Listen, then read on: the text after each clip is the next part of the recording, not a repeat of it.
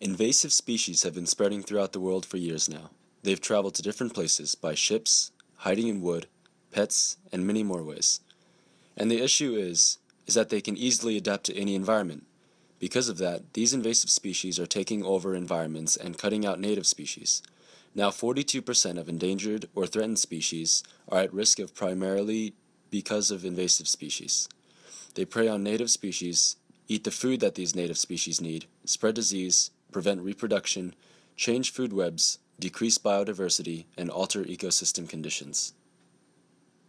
Can you tell us what kind of birds these are? They hatch from eggs I found in a nest. Good heavens! I'm very glad you brought those in, Bart. I'll just get those killed and you can be on your way. Wait, what the heck are you doing? My civic duty, that's what. Bolivian tree lizard? Mm-hmm. It's a vicious oviraptor. It feasts on bird eggs and lays its own eggs in the nest. The unsuspecting mother bird cares for them until the babies hatch and devour her, too. Ha ha! ha! What a chump!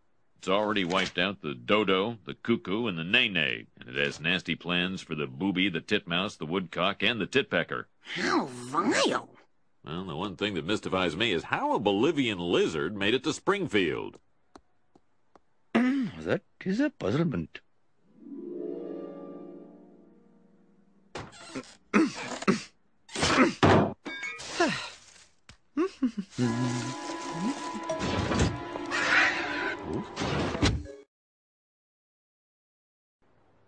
Our top story the population of parasitic tree lizards has exploded, and local citizens couldn't be happier. It seems the rapacious reptiles have developed a taste for the common pigeon, also known as the feathered rat or gutter bird. Well, I was wrong. The lizards are a godsend. But isn't that a bit short-sighted? What happens when we're overrun by lizards? No problem. We simply unleash wave after wave of Chinese needle snakes. They'll wipe out the lizards. But aren't the snakes even worse? Yes, but we're prepared for that. We've lined up a fabulous type of gorilla that thrives on snake meat. But then we're stuck with gorillas. No, that's the beautiful part. When wintertime rolls around, the gorillas simply freeze to death. So how do we fix this issue? Unfortunately, there's not a lot we can do at this point.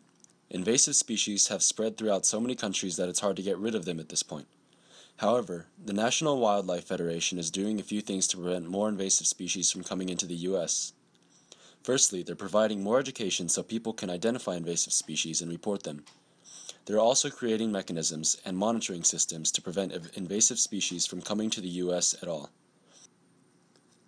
Although these are small steps, they can help prevent rapid population growth of species that could tear our ecosystems apart.